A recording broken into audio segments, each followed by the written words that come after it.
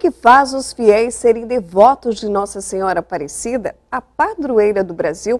Acompanhe na reportagem de Ellen Carolina. Movidos pela fé Nossa Senhora Aparecida, os devotos da Santa comemoram o dia 12 de outubro com orações e gratidão. É muito sentimento, muito gratidão a Deus, a Nossa Senhora Aparecida, porque ela tem feito na minha vida só bênção, só milagres. Na Paróquia Espírito Santo de Nossa Senhora Aparecida, em Foz do Iguaçu, em todos os anos eles se reúnem em celebrações e, como um ato de carinho, deixam flores próximas à imagem da padroeira do Brasil. E alguns até se emocionam ao falar sobre ela. Muito, desde que nasci me conheço por gente, sou devoto de Nossa Senhora Aparecida.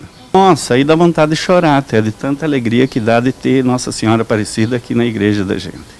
A fé pela santa já uniu pessoas e transformou famílias, e ainda transparece para os católicos em momentos de fé, reflexão e espiritualidade. Porque para nós, na nossa religião, no catolicismo, a representação de Nossa Senhora é muito importante, é importantíssima, e nós temos ela como mãe. E representado aqui em nossa comunidade a imagem de Aparecida, nós pedimos a intercessão dela para sempre na nossa vida no nosso trabalho, nos nossos estudos, no nosso dia a dia, no nosso cotidiano, que ela sempre está acompanhando nós, a nossa comunidade.